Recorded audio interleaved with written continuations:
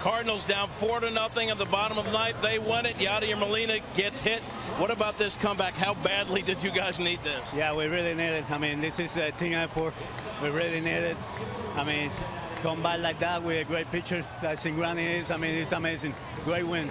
In the dugout, you're down four to nothing. What were what was being said in there? I mean, we never give up. I mean, we obviously we believe in ourselves, um, and and we did. I mean, we we've been in this situation before, and and we trust each other. I mean, so it's a great great, great game to come back and win it. You're facing a pitcher, obviously, that had trouble finding the strike zone.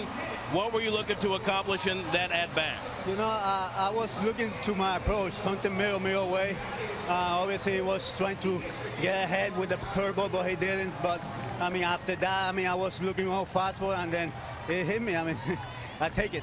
We guys. Big, big comeback, almost lost in this. How good was the bullpen? The bullpen was good. I mean, I thought Wacha did a good job too. I mean, uh, a couple pitches up, but I mean, overall, I mean, pitch fifth inning, five inning, and and the bullpen complete the game. I mean, it was a good game overall. Congratulations, thanks, Yadi. All right, guys, Yadier Molina.